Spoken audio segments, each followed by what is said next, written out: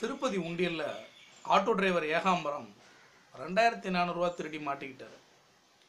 இதில் விஷயம் என்னென்னா ரெண்டு வருஷத்துக்கு முன்னாடி அதே திருப்பதி உண்டியலில் நாலாயிரம் ரூபாய் திருடும்போது அவர் மாட்டியிருக்கிறார் Senthil Senthil from honey builders Ekambaram ரெண்டு வருஷத்துக்கு முன்னாடி நாலாயிரம் திருடி மாட்டிட்டாரு. இப்போ திரும்ப ரெண்டாயிரத்தி நானூறுரூவா திருடி மாட்டியிருக்காரு இதுக்கு இடையில அவர் என்ன பண்ணாரு? திருடினாரா? இல்லை திருடாம அமைதியாக இருந்தாரா? இப்போ திருடுறப்ப திடீர்னு மாட்டிக்கிட்டாரா? தெரியாது. ஆனால் doing the same thing and expecting different results is insane அப்படின்னு ஆல்பர்ட் ஐன்ஸ்டீன் சொல்கிறதா ஒரு கருத்து இருக்கு.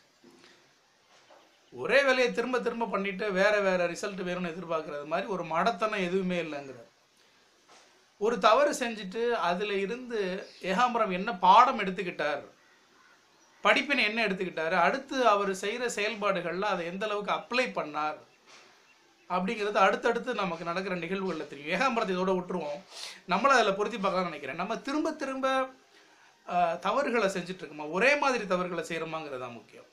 நம்ம தவறுகள் செய்வது மனித இயல்புன்னு நம்ம சொன்ன பொதுவாக ஆனால் செய்கிற தவறையே திரும்ப செய்கிறது வந்து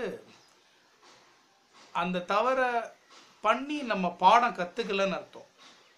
உதாரணத்துக்கு என்னோட ஃப்ரெண்டோட ஃப்ரெண்டு ஒருத்தர் வந்து அவர் ஒரு சின்ன கன்ஸ்ட்ரக்ஷன் அவர் ஏரியாவில் பண்ணுற வீட்டில் பண்ணுறதுக்காக அவர் தெரிஞ்ச ஒருத்தர்கிட்ட கொடுத்தாரு.